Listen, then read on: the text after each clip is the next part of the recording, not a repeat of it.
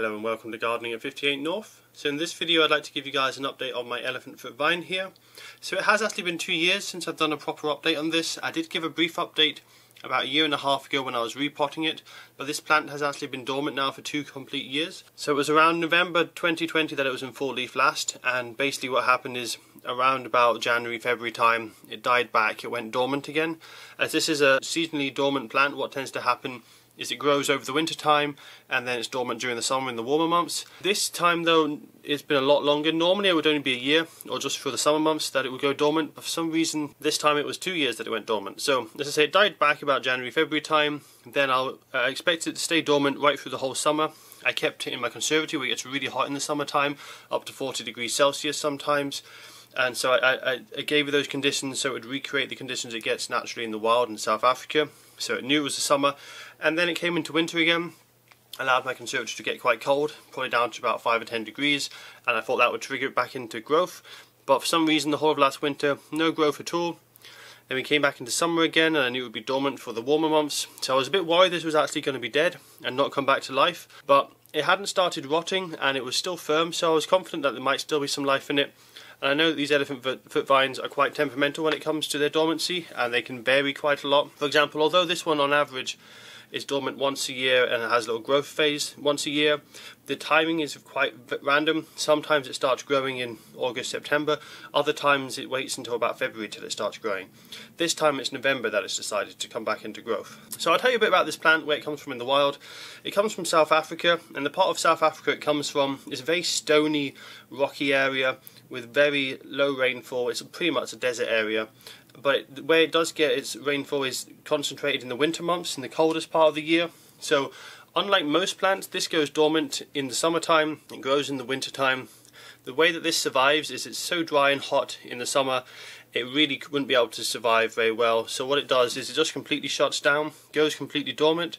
It stores lots of energy in this big caudex at the bottom here, which is the giant trunk that it has. That also stores a lot of water. It can then, in that dormant phase, with all that water stored in its caudex, survive the long hot summer months. Then when the, the rains come back in the winter time and it's cooler, it can then start rapidly growing.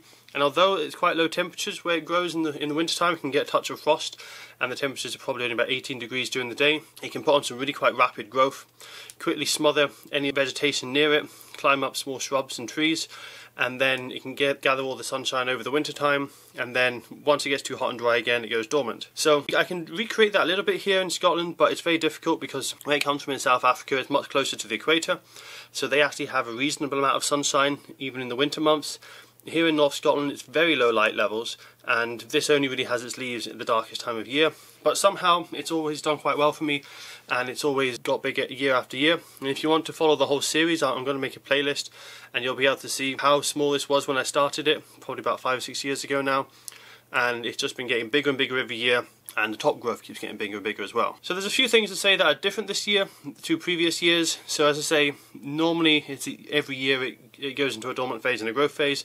This time it's been a two-year dormancy phase. So I think the reason for that is the growing point was damaged or died off. I'm not sure entirely what happened, but basically it's always had one or two growing points in the middle here. So you can see on this plant it's always either grown from this point here or from this point over there. And what normally happens is you get one long stem one really quite strong vigorous thick stem and then it branches as it grows. You can see the previous year's stems. You can see they get smaller as the uh, the stems are from longer ago when the plant was a smaller plant. But the most recent one I think was this one which is particularly large. You can see there's another growing point here as well. That had a few of these stems in previous years. And this bit in the middle where there's a few little kind of dry bracts that was a growing point. It started to grow and then it just kind of stopped. Also some slugs and snails ate the top of it off and for some reason it hasn't tried to grow again from that point. But then what happened is the plant must have lost its growing point so it's tried to create a new one and so all over the plant there's lots of new growing points starting to appear so you can see down here we actually have a very small one there but because this one on the right hand side is the one that's the dominant one this will now be suppressed and it probably won't continue to grow. We've also got some other ones if I turn around you can see there's various growing points trying to come out of this section here. But the main thing that happened, and you can kind of see this here, this side of the tuber has sort of bulged a bit more. You can see it's lighter coloured bands. And this is actually, this started bulging just before it came back into growth. It started to get a bit bigger.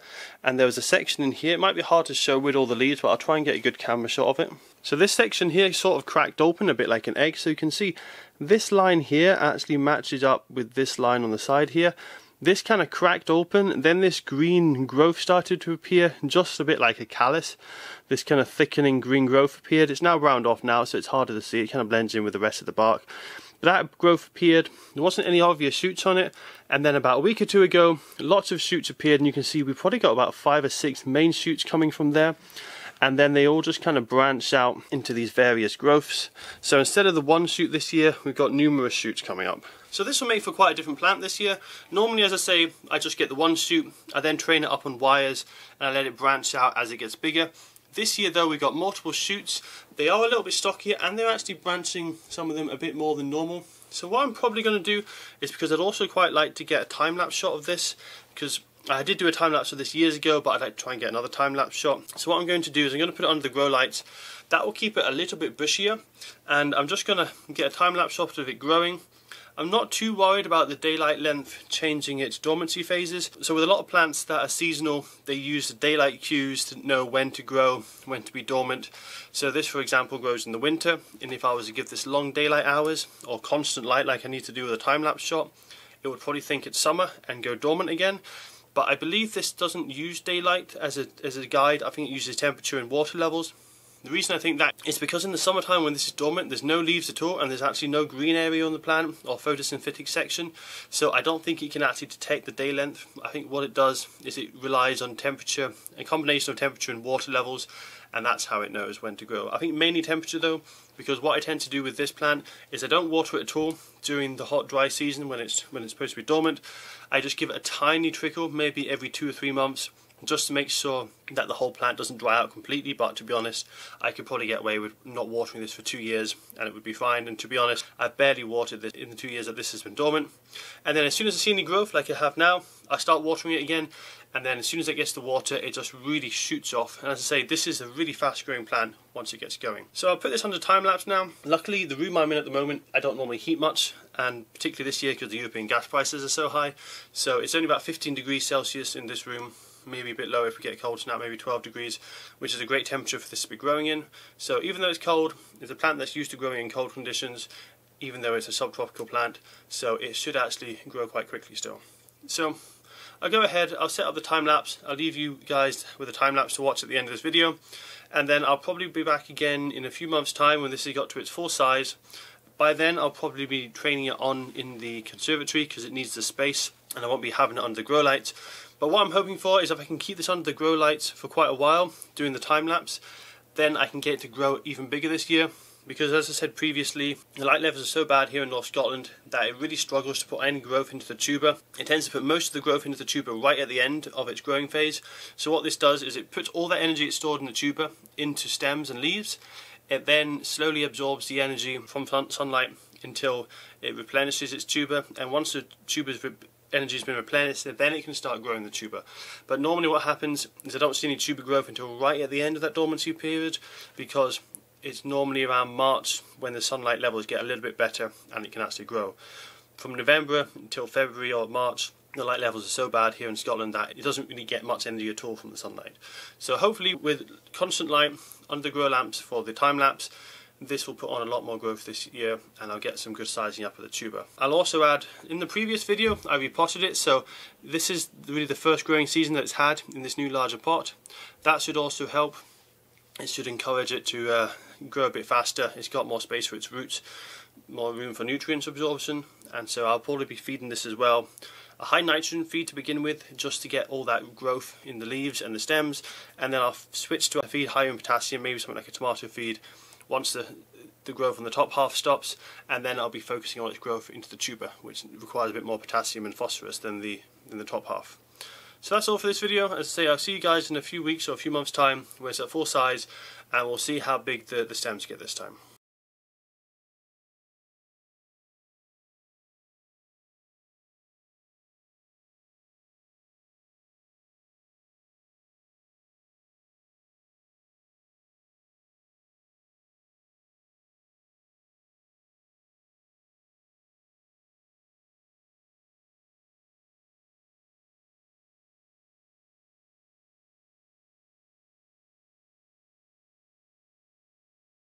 So it's now four months later and as you can see from that time lapse it hasn't grown a huge amount more since that time lapse. I was hoping for a bit more leaf growth this year but I think maybe because it was waiting for a whole two years in the dormant phase, I think it had probably lost a bit of energy in the in the Caudex over that two year period. So not quite as big as I was hoping for this year, but reasonable growth. The other problem I had was I had a very bad aphid infestation on this around about December, January time when it was just finishing its, its leaf growing phase. That took a lot of energy out of the plant, so it didn't really start growing the Caudex until the last two months.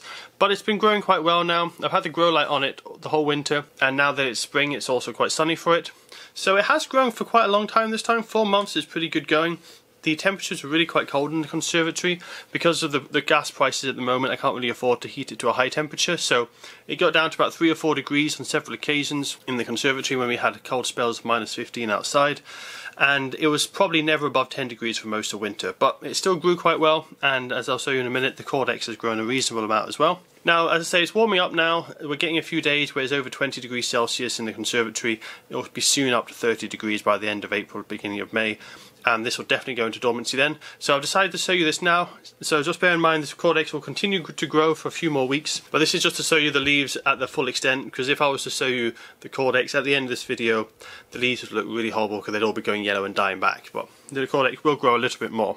So I'll zoom in now on the Caudex and show you how the growth has been. So starting at the front here, there's actually been very little growth at all. I think this is because the growing point used to be here at the, the edge or in the middle, and the new growing point is at the far side. So this side of the Caudex has really put on very little growth at all. So you can see on here, the growth hasn't been huge. The way that it works is when it grows slowly it has these darker bands and the lighter bands is when it grows quickly. So you can see it's quite dark even into the, the deep into the cracks. And there's a tiny bit of lightness in the cracks. They've probably only grown one or two millimeters in every single crevice here. So very slow growth. But what I'll do now is I'll take you around to the back of the Caudex where all the growth has been occurring this year. So Normally it kind of grows all over quite evenly but this year it's much more one-sided because the growing point isn't in the middle, it's on the edge of the Caudex. So if I turn that round you will see now that it is less of a round appearance and it's getting a bit more elongated in this direction whereas before it was perfectly circular it's now getting more of an, an kind of oval shape so it's a little bit trickier to show here because most of the growth is right where there's a lot of leaves but I'll try and get get this filmed for you.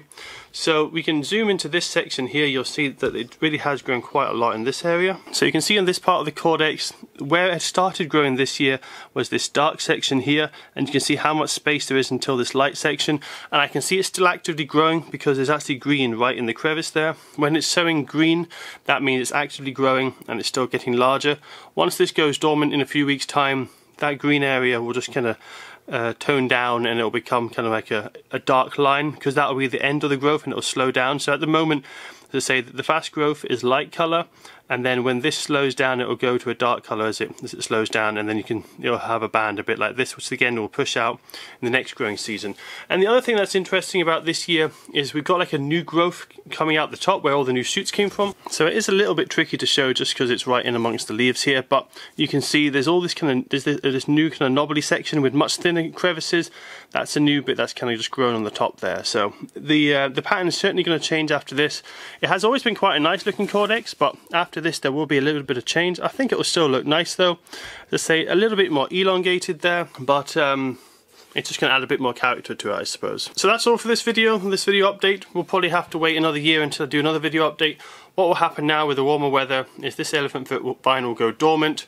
It will stay in the conservatory over the summer months so it's nice and hot to ensure it knows it's summer and it's the dormant period. I'll also completely stop watering. Once most of the leaves start to go yellow, I'll completely stop watering and let the whole thing dry out. Over the summer I'll just give it a tiny bit of water every now and again but mostly I don't water it at all, just a few drops maybe once every month or two and that's all I give it and then I really wait until autumn when I start to see a little bit of growth to bring it back into growth. So as I say this will be dormant now for the whole summer and it will probably start growing again around November or December time but it does vary a lot as I say it is quite random with the dormancy and if I'm unlucky it could be another two or three years until it grows again but hopefully it will just have a short dormancy and it will start growing kind of September, October time if we're lucky.